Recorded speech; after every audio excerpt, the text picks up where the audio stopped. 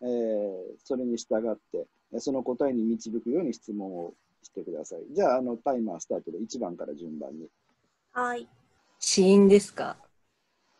いいえ、日本語にありますか？はい、前舌ですか？いいえ、中舌ですか？いいえ、その母音は広母音ですか？いいえ、おですか？いいえ、え？えー、3番です。その夫は、んですか？いいえ、え？ー半広いですか？読めないです。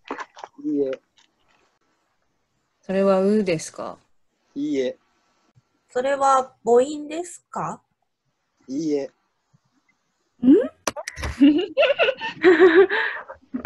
えー、3番です。えっと、それは補助記号ですか？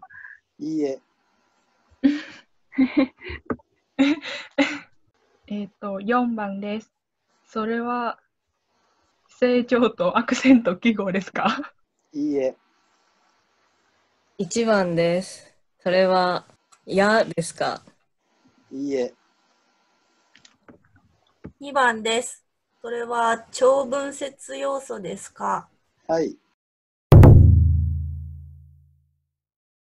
それは、えっと、キーボードで打つときに簡単に打てますか？いいえ、と、その記号の、あ、4番です。その記号の、えっと、点数？数？えっと、1位ですか ?2 位ですか？点数？え？っと、点の数という意味？点の数という意味です。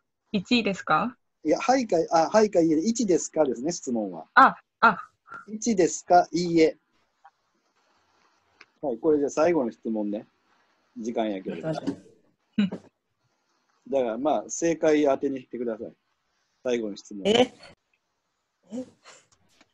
それは、だいえ？1, か1ですか？2ですか？ってどういうこと？それは第二強制ですか？1番です。いいえ。